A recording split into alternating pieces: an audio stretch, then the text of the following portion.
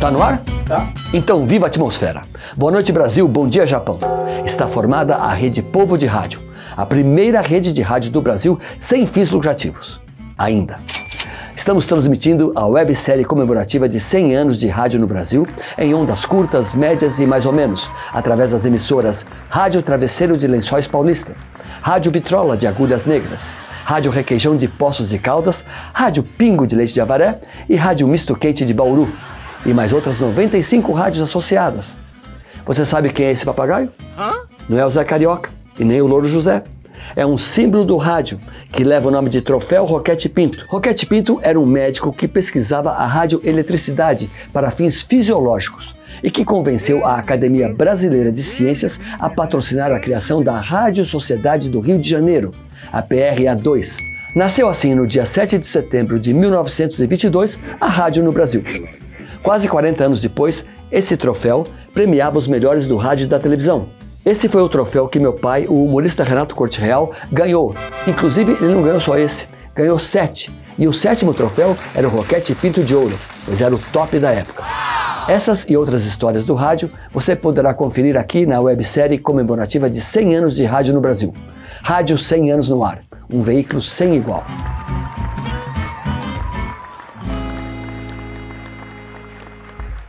Ô Nilo, vamos contar algumas histórias aqui. Logicamente, tenho certeza que todas as pessoas que participaram do livro conosco, elas têm não uma, elas têm muitas histórias. Né? Mas a gente resolveu aqui é, lembrar de algumas. É, aquelas que falam mal de você, eu não vou contar aqui agora. É, eu também. Prometo não contar as suas também. Mas sabe que tem uma interessante que é o seguinte. É, eu me lembro que quando eu trabalhava ainda na Rádio Celso, nós tínhamos lá alguns locutores famosos, antigos, o Juca Amaral, por exemplo, o outro que era o senador, que depois foi para a rede, foi para Manchete, lembra dele ou não? Lembro, James Rubio. James Rubio. Mas tinha um, por qual eu tinha uma predileção maior, chamado Luiz Lopes Correia. Inclusive trabalhou é, lá no SBT, era o gravadinho, você lembra dele? Não? Isso. É. Mas sabe que o Luiz Lopes tinha uma mania, que era uma coisa inacreditável. Ele andava com uma bolsa enorme. E a gente ficava perguntando, mas o Luiz, Aí você estava lá no estúdio para fazer o jornal, mas o que, que você traz tanto dessa bolsa? Ele abria a bolsa ele tinha alicate, tinha, é, tinha chave de fenda, tinha chave inglesa, tinha motosserra, tudo ali dentro daquele negócio. Eu falei, mas Luiz, o que você está fazendo? Aí, durante os intervalos, ele levantava e ele começava a parafusar as cadeiras do estúdio. e o bolso cheio de amendoim. E o bolso cheio de amendoim. E parafusava. Mas muitas vezes ele desmontava a cadeira durante o jornal, você está fazendo o jornal, e ele não conseguia montar a cadeira.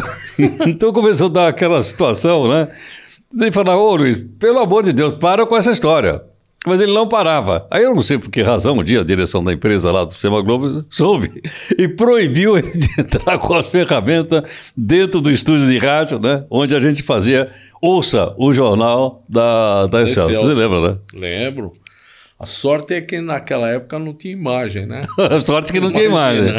Você imagina você aparecer no ar, né, na internet, no caso, como nós estamos aqui agora, é, parafusando, desparafusando a cadeira. Eu, foi uma coisa que eu me lembrei. Falei, caramba, que coisa extraordinária, hein? É, ele trabalhou lá muito tempo, né, Ron? Trabalhou, trabalhou muito tempo. Depois ele saiu de lá para trabalhar no SBT, no SBT, apresentando o Aqui Agora, onde, aliás, fez grande sucesso. É, exatamente, me lembro disso. Gostou da história ou não? Oh, maravilhosa. Ó, tem outras aí pela frente, hein? Vamos, vamos para as próximas aí.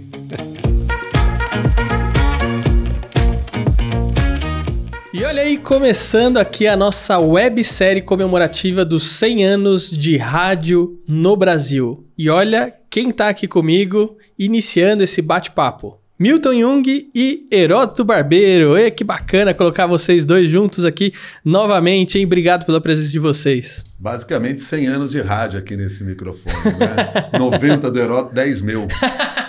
Completamos 100 anos de rádio. Prazer é nosso poder falar com você e falar de rádio. Direito de resposta. Agora, o outro lado. Agora, como é que vocês se conheceram? Olha, eu vou dar a minha versão, depois ele dá a versão dele. Tá bom. Eu trabalhava na TV Cultura e eu acompanhava o Jornal da Cultura feito pelo Milton Jung. eu fazia um programa chamado Opinião Nacional, que entrava acho que no ar nove e meia da noite, e o Milton fazia o Jornal da Cultura às 10 horas da noite. E eu acompanhava o trabalho que o Milton fazia na redação. Eu não o conhecia, mas eu vi o trabalho dele. E quando a CBN foi, foi montada, foi um trabalho de equipe, esse, esse negócio todo, havia a possibilidade da contratação. Aliás, eu já tinha contratado um âncora naquela época, mas não deu certo. E aí eu imaginei, fiz o, o trabalho do Milton, trabalho muito bom, e aí eu sugeri que o Milton fosse contratado lá na CBN. Foi aí que o Milton foi trabalhar na CBN, fazer o programa logo depois do jornal, que era apresentado por uma pessoa também bastante carismática, chamado Miguel Dias, que era também um radialista e trabalhou na TV Record também. Então o Milton entrou e o Milton então uh, dominou o horário, né? E depois o Milton hoje é o principal âncora da CBN, faz o jornal da CBN de seis até nove ou nove e meia. Nove e meia da manhã. Até nove e meia da manhã. Posso contar minha versão agora? Conta. Porque tem duas coisas aí que eu preciso que Esclarecer. eu preciso esclarecer. Primeiro, na TV Cultura tinha uma máquina de café na saída da porta da redação. E era na máquina de café que quando o professor Heródoto ia pegar o cafezinho, eu ia atrás. Porque eu já era um interesseiro naquela época. quando tomávamos café junto, eu contava para ele o quanto eu admirava a rádio. Porque quando eu vim para São Paulo, eu vim para trabalhar em televisão, mas a minha história toda começou no rádio. Eu vivo o rádio desde pequenininho por causa do meu pai. Então eu era pequenininho mesmo, de fralda, e meu pai me levava para a redação do rádio, para o estúdio de rádio. Então eu amava aquilo. Veio para São Paulo para trabalhar em televisão, então ninguém conhecia a minha história no passado. E eu fui contar para o Heródoto que eu gostava de rádio, que eu curtia a rádio. E aí eu tenho certeza que foi daí que alertou a ideia: bom, então esse cara aí que está fazendo televisão, bonitinho tal, mas esse cara pode trabalhar no rádio, ele não precisa ser tão bonito assim, né? Ele pode vir para cá. Brincadeira, lógico, Heródoto. Imagina. E tem um segundo ponto, esse o Heródoto não lembrou. Porque antes de eu assumir o CBN São Paulo, lá na Rádio CBN, o Heródoto me levou para cobrir férias na Rádio CBN. Por quê? Tinha um programa do meio-dia, que era apresentado por Chico Pinheiro. Chico Pinheiro tinha saído de férias, ele precisava de alguém para cobrir o buraco lá. Ele lembrou de mim, provavelmente pelas conversas no café, claro, viu o meu trabalho lá na TV Cultura e disse: vem, vamos tentar. Fui lá, fiz um mês. Chico Pinheiro não voltou mais. Foi trabalhar na TV Globo. Aí eu fiquei uns dois meses lá e eles me disseram assim: ó, segura a onda aí que a gente vai contratar um âncora. Não era eu, né? Eu tava só tapando buraco. Eu digo, fico lá tapando esse buraco, porque eu adoro fazer isso aqui. Fiquei dois meses lá. Aí o âncora veio.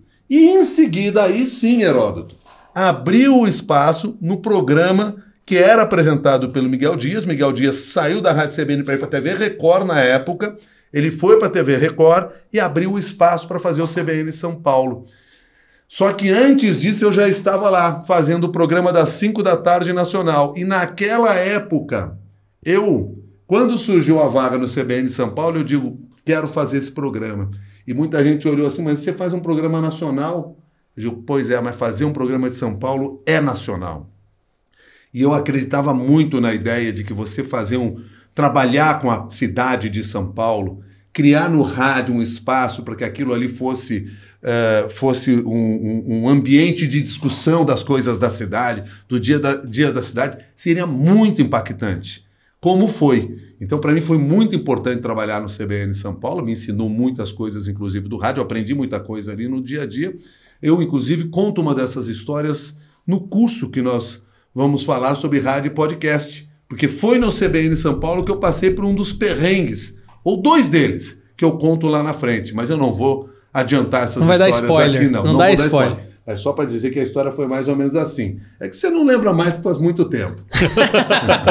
Mas eu lembro bem dos cafezinhos. Nossa, eu até pagaria o café para você, Heródoto. Então, Pra então vamos te pagar. Vamos, convencer. vamos- Não, tá conseguir pago, te tá convencer pago, a né? trabalhar, a trabalhar, para poder voltar e trabalhar no rádio, porque foi o Heródoto que me abriu as portas para o rádio. Não, quem abriu aqui foi a sua competência. Quem abriu foi a sua competência, claro, lógico. Mas você deu a chave. Não, tudo bem.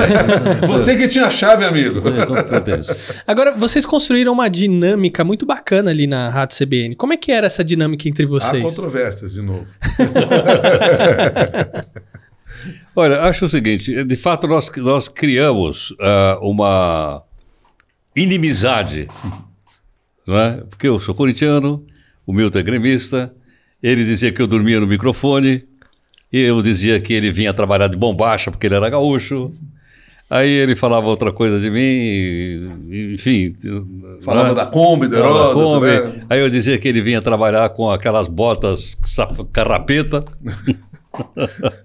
Eu dizia que ele vinha, que ele ia, que ele ia de, de, de pantufa, De pantufa. acordava muito cedo. Exatamente. Então eu acho que isso criou uma, uma ligação forte, né? Porque era uma coisa amistosa, respeitosa e amistosa, Respeitosa. mas ao mesmo tempo alegre. E isso pegou muito nas, nas pessoas, pegou bastante na nossa audiência, tanto do jornal como do programa, que era o CBN São Paulo, que vinha o Milton fazendo depois. Então eu acho que esse foi um, um gancho. E eu sabe onde eu aprendi isso, Milton? Eu aprendi isso dando aula no cursinho. Por incrível que pareça. Eu dava aula junto com um professor de geografia, que era um cara que tinha um bope extraordinário, chamado Paulo Kobayashi. Depois virou, de- virou, virou deputado. Bom, eu dava aula de história, ele dava aula de geografia. Bom, o que acontece? Eu falava mal dele nas aulas de história e ele falava mal de mim nas aulas de geografia. Mas você imagina falar mal para uma sala de 200 jovens Adolescente, praticamente. Adolescentes, né? adolescentes, 200, 250 caras. Você falava mal do cara, a, casa- a- a- a sala vinha abaixo. E até que um dia eu entrei numa sala de aula, né, ele já estava falando mal de mim e tudo mais, e eu falava mal dele, ele colocou um apelido em mim. Ah, quando eu entrei na sala de aula, porque eu fui assistir um filme e, e havia uma canção francesa chamada Mimi la Blonde, Mimi a loira. E eu contei para ele, ah, quando eu cheguei na sala de aula, a sala inteira gritava mi, mi, mi, mi. Eu falei, mas o que, que aconteceu aqui? Não, o Kobayashi falou que o seu nome era Mimi. Eu falei, pois é, mas eu saí daquele espetáculo e fui assistir um espetáculo de dança japonesa.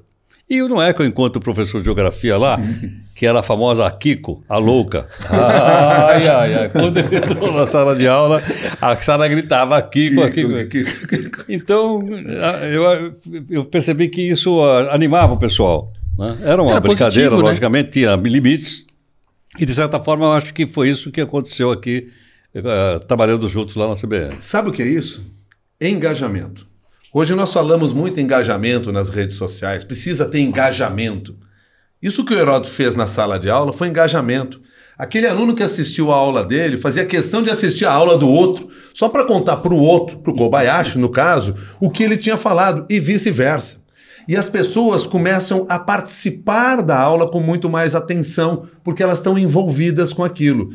Você chama a atenção das pessoas. Aquilo que é o principal commodity hoje das redes sociais, ter a atenção das pessoas, porque tudo que se cria, algoritmo, inteligência artificial que movimenta as redes sociais é para ter a sua atenção. É isso que eles tentam buscar.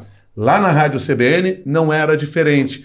Porque o ouvinte que acabava de ouvir o Heródoto continuava me ouvindo na sequência para saber o que, que ele vai responder depois. E vice-versa. E assim as coisas funcionam. Mas tem um ponto-chave nesse processo.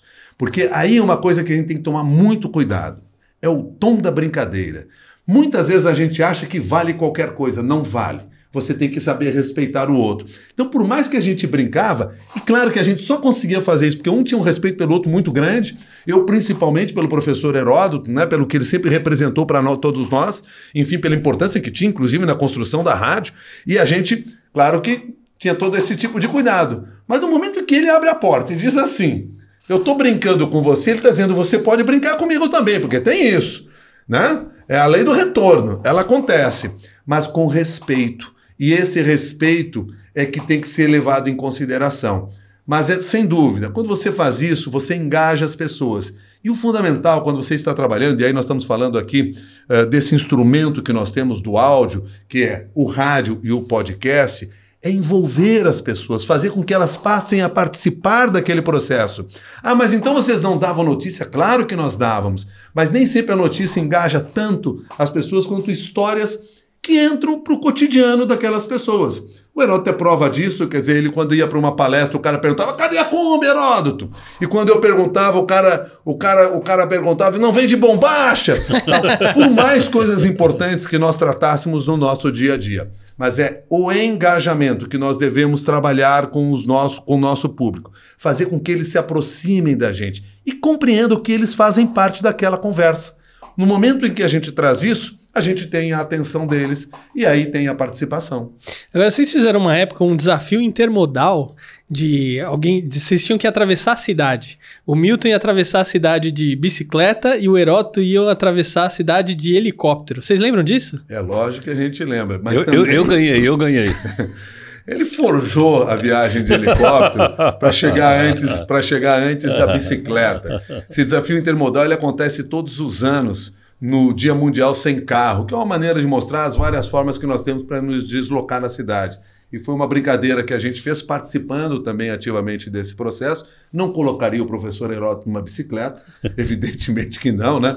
Então fui eu de bicicleta, o professor. Não, eu digo pelo respeito. Ah, que eu bom, tenho. ah, bom. Pensei Não que era por causa da- idade, por não, causa da minha disso. idade. Pensei não, que era por causa da minha disso, idade. pelo contrário. Você tem uma saúde de cão, né? Isso a gente sabe. Mas enfim, a gente criou essa. Mas também entra nesse ponto. Você envolve as pessoas, porque no momento que você faz isso, você chamou a atenção das pessoas para os diferentes eh, modais que nós temos na cidade. Você faz com que elas parem para refletir sobre a, a importância de você entender como é que a cidade, qual é a dinâmica da cidade. Então, assim, é sempre importante quando você vai criar alguma coisa para envolver as pessoas, é qual é o propósito disso que você está fazendo? É aleatório? É só uma bobagem? A bobagem pela bobagem, ela acaba ficando sem sentido. Mas no momento que você tem um propósito naquilo, é muito interessante, porque daí as pessoas vêm participar e elas se engajam. Agora, Heródoto, um passarinho me contou aqui que uma vez é, o Milton estava fazendo um programa num sábado e, é, se eu não me engano, ele era ao vivo. E aí o Milton te ligou para você entrar no, no rádio ao vivo com ele e você estava caminhando lá na região do seu sítio, lá no Marraiana, com o Amir Klink. E aí você botou o Milton para falar com o Amir Klink. Lembra disso, não? Vagamente, você lembra disso ou não? Eu não esqueço disso. Porque não era o Amir Klink que estava Mas era lá. a mesma coisa. Era quase a mesma coisa. Na verdade, não fui eu que liguei pro Heródoto, não, senhor. Ah, não foi você? Não, eu lá, pobre coitado, trabalhando num sábado de manhã. O professor não trabalhava mais, já era da elite do rádio, folgava no fim de semana, fez uma passeada lá na serra, sei lá de onde, né, com os amigos. Né? Sei lá com o que, que ele estava turbinado ou não estava turbinado ali, não sei lá. De manhã cedo, água, deve ser, né? Aquela que o passarinho, aquele Não mesmo bebe. passarinho que contou, não bebe. Mas enfim, estava lá na caminhada. E ele ligou de lá, porque tinha um propósito. Tinha um propósito. Porque era para falar da questão ambiental, preservação, coisa realmente importante. Mas daí ele resolveu fazer uma pegadinha ali, colocou um amigo dele dizendo que era o Amir Klink. E por uma coincidência dessas na vida, sabe que a primeira entrevista importante que eu fiz na minha vida, não por mim, mas pelo entrevistado, foi com Amir Klink. Quando Amir Klink tinha feito a travessia do Atlântico, no seu barquinho lá, a remo, né? Barquinho a remo é uma maneira de chamar, cheio de tecnologia, um barco que não tombava, inclusive. Mas enfim, um grande desafio. E na época eu apresentava o Esporte Amador na Guaíba, lá na Rádio Guaíba de Porto Alegre, e ele estava lançando o livro e eu tive a oportunidade de entrevistá-lo. Uma entrevista de meia hora, uma hora, não lembro muito bem, em que eu praticamente não falei e fiz questão de não atrapalhar a fala dele, que era tão linda, tão bonita, era emocionante. Então, assim, o Amir Klink foi para mim ah, marcante nesse sentido, porque foi uma grande oportunidade que o rádio me deu de ouvir uma pessoa que tem um conhecimento tão aprofundado e tão bonito como ele tem. E aí o professor Heródoto, não sabia dessa história provavelmente, mas falou que estava com a Amir Klink. Eu todo emocionado fui conversar com a Amir Klink. Na primeira pergunta eu percebi que não tinha nenhum Amir Klink no ar ali. né? Tinha um amigo Klink ali ao lado dele e tal, mas enfim, foi só a pegadinha que ele fez no ar lá.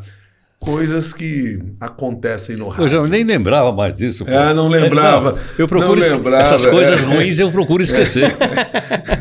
Só, só quem sofreu é que, que lembra, né? É, mas faz Milton? parte das histórias, do folclore do rádio. O professor também já entrevistou entrevistados que não eram os entrevistados. É não. O Tafarel, não foi que você contou não, aqui, inclusive? Não, não, nossa- não. Essa é outra história.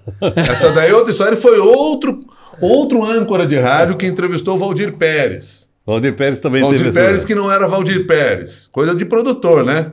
Mandaram ligar pro Valdir Pérez. Na época era, era a lista telefônica. Aí o cara rodou lá, Valdir Pérez. Nossa. Ligou pro Valdir Pérez. Botou Valdir Pérez no ar. O Valdir Pérez atendeu. O cara fez uma pergunta, fez uma segunda pergunta, a pouco ele disse, olha, Mas eu acho que eu não sou o Valdir Pérez que vocês estão procurando. Ele achou que era assim, tava a rádio ligando para os torcedores para falar sobre seleção brasileira, que era pela Copa do Mundo, quando ele percebeu que o, o âncora estava falando com o goleiro Valdir Pérez. Ai. E aí ele disse, não sou eu, tal. Mas a gente já passou por essas, aí o professor já passou. Mais já, de uma vez. Mas, mas já entrevistou o professor que Mais de uma vez. de, de comunicação que não era professor de comunicação. Mais uma vez. E são os produtores que nos aprontam. Agora é o seguinte, a gente tá com um estagiário aqui, que é o Duda, e todos os episódios eu vou pedir Hum. Não pra é o ele... Valdir eu- Pérez. Não é o Valdir Ah, tá. Pérez. É, vou, pe- vou pedir pra... E não é o Dida também, é Duda, hein? Duda. Vamos confundir. É, eu tô pedindo pra ele levantar algumas informações aqui pra agregar aqui mais na nossa história. Eu pedi pra ele levantar qual que foi o primeiro jornal no rádio é, brasileiro. Vamos ver o que ele tem pra falar aqui? Oi, gente, tudo bem? Eu sou o Duda, eu sou estagiário do Warley Santana e eu tô aqui emprestado como estagiário do Vítulo pra trazer pra vocês a cada episódio informações legais da história da rádio. E hoje é o primeiríssimo episódio, eu tô aqui com o Vítulo, eu tô aqui com o Milton e tô aqui com o Heródoto, gente! É um crossover, gente, Milton Heródoto. É, gente, é a mesma coisa que vê Goku e Faustão. É a mesma coisa que vê DC e Marvel. É a mesma coisa que vê Fortnite e, e Free Fire no mesmo lugar, gente. Eu não tô acreditando nisso. Nossa, que legal demais. É uma bela estreia essa pro programa, né? E hoje eu vou falar pra vocês do primeiro jornal na rádio. É, é, o primeiro jornal da rádio foi criado pelo Roquete Pinto e se chamava Jornal da Manhã. E ele trazia fatos comentados. O programa ele foi o pioneiro do jornal falado, né? E o comentarista ele trazia diariamente as principais notícias do jornal impresso, com comentários e opiniões, mais ou menos o que o pessoal faz hoje nas lives do YouTube, né, gente? A primeira aparição do jornalismo na rádio brasileira aconteceu na PRA 2, a Rádio Sociedade do Rio de Janeiro, né, gente? Então, mas, mas quem que ganharia assim num duelo assim no mano a mano? O, o Milton ou o Heródoto? Olha aí o Duda trazendo informação bacana. Então, o Roquete Pinto que criou o primeiro rádio. eh, pra- o primeiro rádio, ele criou a primeira rádio e também o primeiro jornal que, eh, que era o Jornal da Manhã. E bacana a informação, né? Sem dúvida, bastante interessante. E sabe como é que ele produzia esse jornal da manhã? Que eu não sabia que se chamava Jornal da Manhã. Ele recebia os jornais, pegava todos os jornalões da época, lia os jornais, com um lápis vermelho, ele riscava os trechos das reportagens que ele considerava mais importante e depois levava os jornais para o estúdio e dizia põe no ar. Porque naquela época não tinha programação de rádio como nós temos hoje. Tem que entrar às 6, sai às 7, tem que entrar às 6 e 15, sai às 6 e 16. É, Eles não eram. Uhum. não eram reféns do tempo. Porque o rádio era um rádio iniciante, amador, era rádio clube ainda. Só aqueles que Nem tinham era comercial. assinatura. Não era comercial, só aqueles que tinham a, que, que se cotizavam para poder ouvir a rádio, faziam parte e conseguiam ouvir aquela emissora. Então ele fazia isso. E aí ele lia. Mas ele não só lia, ele lia e já comentava. Ou seja, a ideia do âncora já existia naquela época quando o rádio surgiu no Brasil. É muito interessante essa história para ver, às vezes a gente acha que está fazendo novidades, né? Mas enfim, lá atrás, nos primórdios do rádio, já se utilizava muito disso. E hoje, como é que chama isso? Gillette Press, que o pessoal fala, né? Gillette Press. que era o seguinte, que era... Aliás, achei que o meu tinha colocar, inclusive, lembrando isso. Em que os produtores cortavam o jornal, colava o pedacinho do jornal lá numa lauda, no papel, e levava para o estúdio e o âncora, o apresentador, lia o jornal. Por isso era chamado de jornal... Do Gillette Press. Gillette Press. Mas eu me lembro que o primeiro rádio... Perdão. Não, não, não, não, tá. Que você falou que, é que eu cortei você e você estava falando. É por isso que era chamado de jornal falado. Exatamente. É, é, aliás, o primeiro jornal que eu conheci, que eu me lembro de ter ouvido, era um jornal, grande jornal falado Tupi, que era apresentado na rádio Tupi, é, acho que no Brasil todo, inclusive em São Paulo, eu acho que o Celino lembra disso, e era à noite, apresentado por um cara chamado Corifeu de Azevedo Marques, que é nome da avenida que passa ali pelo Butantã. Então era um grande jornal falado Tupi, que era um jornal, jo- era um jornal jornal. E de manhã, os programas de rádio eram muito pouco noticiosos, eram mais comentados. Então, por exemplo, o Jornal da Manhã em São Paulo era na Rádio Record. E era apresentado por um radialista famoso, eu tive a oportunidade até de conhecê-lo, que era o Vicente Leporassi. Antes de ser o Trabuco, da, da- depois na Bandeirantes, antes disso era na na, na, na Rádio Record e ele comentava os assuntos, mas ele ficava com o jornal aberto em cima da, da mesa, ele ia lendo e ele ia comentando. Por esse motivo, várias vezes ele foi preso. pelos comentários. Aí o Leporrace hoje faz esquina com Roberto Marinho. É, faz, é travessa. E todos são nomes de rua. É, exatamente, é, é travessa da Roberto Marinho. Ainda teremos a rua Heródoto Barbeiro. Ô, putz. Agora, deixa eu fazer uma pergunta aqui pra vocês. Aliás, estou fazendo várias, né? É, hoje vocês estão trabalhando em emissoras diferentes. Vocês não viraram inimigos? Viramos. Claro, Não, não nós vê. já éramos inimigos na CBN. Você lembra da história inicial que ele contou? Isso, Nós se- já éramos inimigos. Se, se trabalhando na mesma rádio, nós já éramos inimigos, você imagina agora trabalhando em rádios diferentes. Como é que vocês encaram essa questão dessas das guerras das audiências? Porque assim, a gente tem uma briga muito grande, principalmente nas emissoras de televisão. Talvez na parte de rádio isso é um- eu sinto que isso é um pouco mais light. Como que vocês enxergam isso Não aí? é nada light. Eu posso garantir para você. Todos nós somos cobrados por audiência. Eh, não sei exatamente a experiência hoje do Heródoto, como funciona, até em função de ser um modelo, uma rádio que começa a se, ser construída com essa marca do jornalismo mais forte agora, mas pode ter certeza, as emissoras comerciais todas, e aí não é só de jornalismo, lutam por audiência sim, e somos todos cobrados. O que diferencia da televisão é que, graças ao bom Deus, seja ele qual for, ainda não inventaram a medição automática, é tempo real. Apesar de que a internet está aí para fazer isso para nós. Mas, enfim, que a televisão tem. A televisão, a medição é muito imediata. E os programas acabam sendo medidos minuto a minuto, em tempo real, o que impacta de vez em quando, ou muitas vezes, na produção que está no ar. Então, um programa ao vivo pode mudar a pauta ou esticar uma pauta na televisão porque está dando resultado. No rádio, a gente não tem essa resposta imediata. Eu fiz o, o parênteses aqui da internet porque hoje o rádio, este que nós fazemos, que pode ser ouvido no dial, mas que também está na internet, esse sim pode ser medido. Nós temos medições em tempo real, por exemplo, quando o aplicativo da emissora é acessado. Então a gente sabe quando cresce essa audiência em tempo real. Quando você está hoje na internet, é possível ver os acessos. Então talvez daqui a algum tempo tenha esse impacto. Mas não se iluda.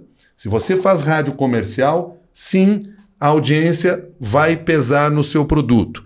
E se você faz podcast, sim, a audiência vai pesar no seu produto, porque na hora que você for ao mercado vender aquele podcast, quem, quem compra quer saber o seguinte: mas quem ouve? Quantas pessoas ouvem? Não que você tenha que ser campeão de audiência, não. Porque você pode ter um programa voltado para um determinado público. Nicho, né? Nichado. Nicho. E aí vender para aquele público. Mas pode ter certeza que tudo que der para medir vai ser medido e você vai ser cobrado.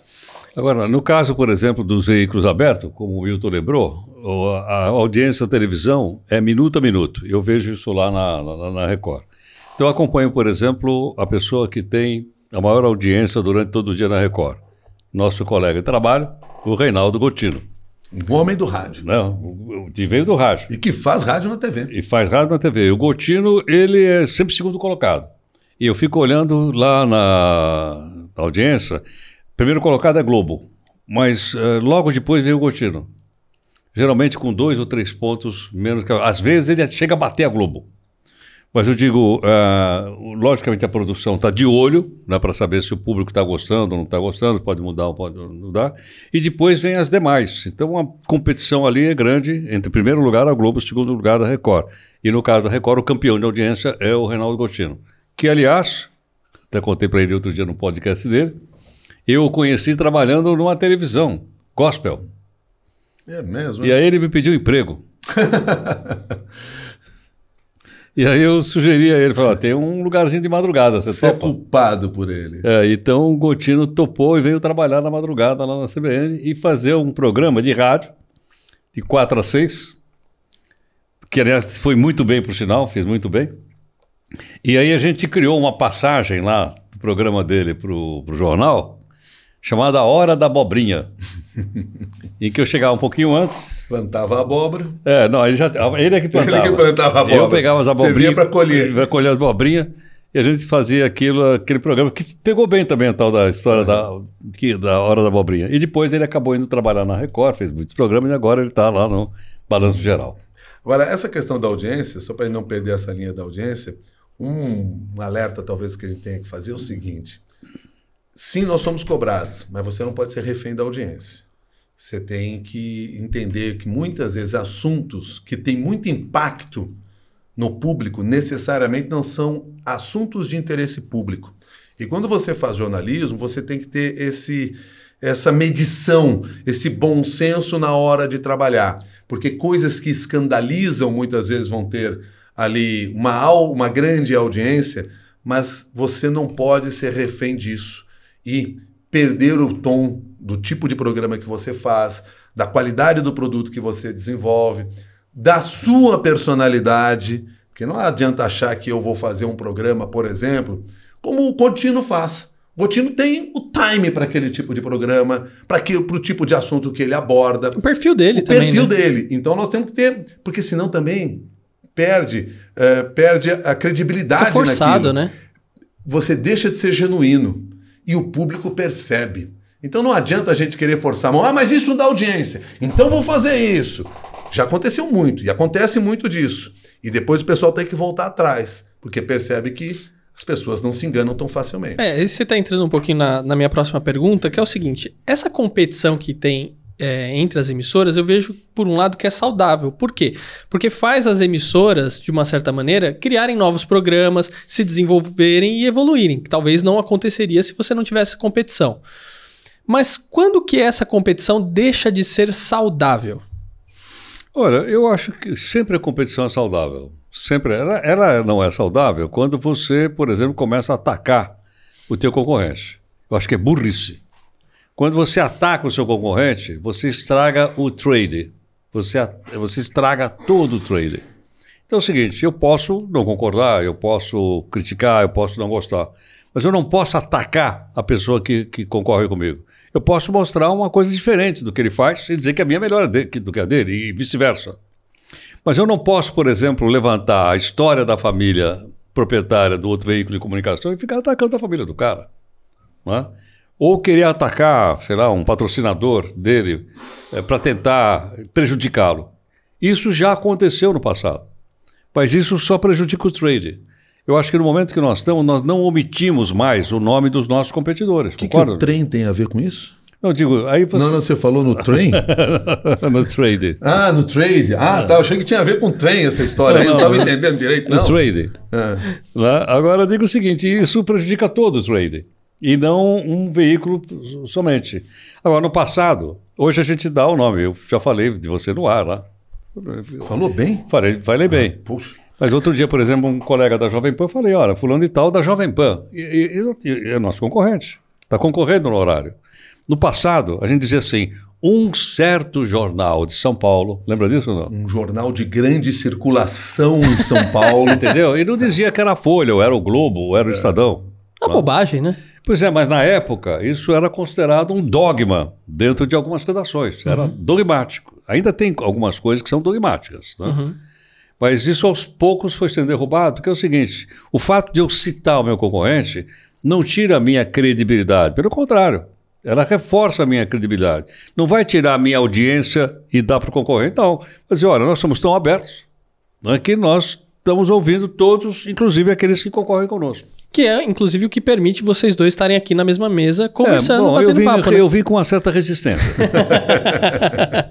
eu vim só com admiração. E olha, queria até aproveitar o momento para lembrar o pessoal aqui, lembrar não, avisar, né, porque eles não sabem ainda, que a gente está lançando um curso aí de produção é, de rádio ou de podcast, né, dependendo é, do jeito que a pessoa enxerga aí, com a participação do Milton Jung, participação do professor mestre Heródoto Barbeiro, e eu também estou ali dando uns pitaquinhos ali sobre a parte de produção também. Então a gente está lançando aí, estou deixando o link aqui na descrição para vocês acessarem e obterem mais informações a respeito do curso, porque tá muito bacana esse curso mesmo, hein? Eu só quero fazer uma correção, né? Opa. Você não dá pitaquinho, você dá patacão.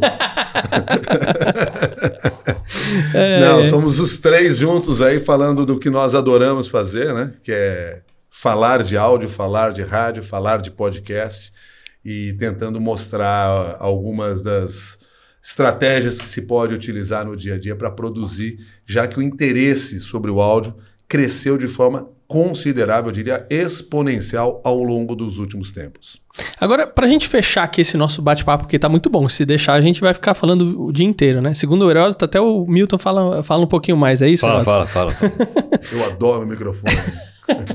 Agora é o seguinte, vocês acompanharam uma evolução muito importante aí do rádio, é, principalmente na parte tecnológica. Então, vocês pegaram ali o rádio sem internet e vocês hoje estão numa nova era de rádio. Todas essas tecnologias, elas ajudaram, potencializaram ou o negócio ficou ruim e desembestou? Não, pelo contrário, eu acho que elas potencializaram. Eu, por exemplo, agora que eu não tenho Kombi, não tenho nada, porque eu não sou tão bem de vida como outros aqui, eu vivo de metrô. Eu entro no metrô e vejo que 80% das pessoas no metrô ou estão olhando o celular ou estão ouvindo alguma coisa no celular. Eu não sei exatamente o que, mas elas estão ligadas à internet. E muitas delas podem estar ouvindo o jornal, muitas delas podem estar ouvindo música, muitas podem estar vendo qualquer outra, outra coisa, mas as pessoas estão ligadas. Então, o que acontece? O veículo que ela une, uniplataforma, todos hoje são pluriplataforma.